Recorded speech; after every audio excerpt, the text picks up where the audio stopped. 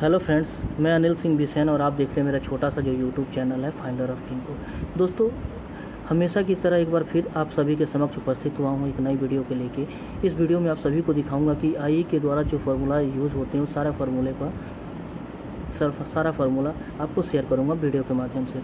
दोस्तों, जब एक आई अपने इनिशियल स्टेज में होता है, जब लर्न लर्निंग स्टेज में होता है तो उस वो बहुत सारा फार्मूला को सर्च करता है, कोशिश करता है कि आई कौन कौन से फार्मूला यूज़ करता है, उसके बारे में अध्ययन करना, उसकी जानकारी इकट्ठा करना।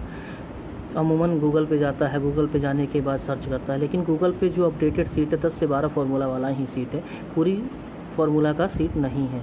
तो दोस्तों, आज मैं आप सभी को वो सारा फार्मूला दिखाऊँगा जो जूनियर आई से लेकर सीनियर आई तक फार्मूला को यूज़ करता है। दोस्तों, आज का वीडियो काफ़ी इंपॉर्टेंट है, काफ़ी लर्निंग है और यूज़फुल है।